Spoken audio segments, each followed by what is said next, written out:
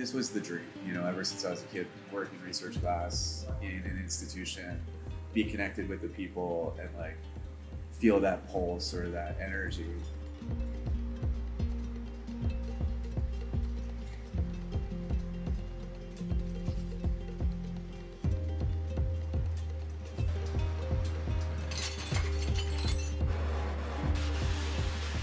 I fix everything for like 10 cents on the dollar.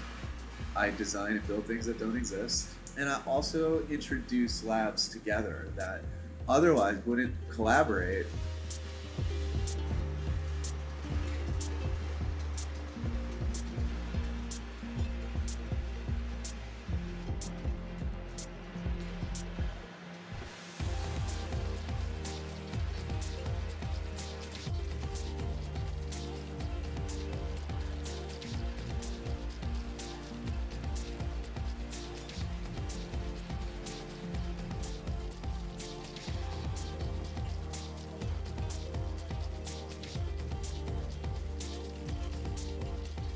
Sydney took over making these, which are disposable sample tubes. They're used in both covalent organic framework chemistry and metal organic framework chemistry.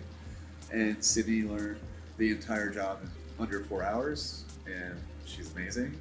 She's really got a taste of what it's like to have to make decisions on site and fix a problem instantaneously. And I, I think she really enjoys the energy in here, and I think it's very cathartic for her. We're doing all sorts of things that are so far past just basic chemistry, and the utilization is so campus wide.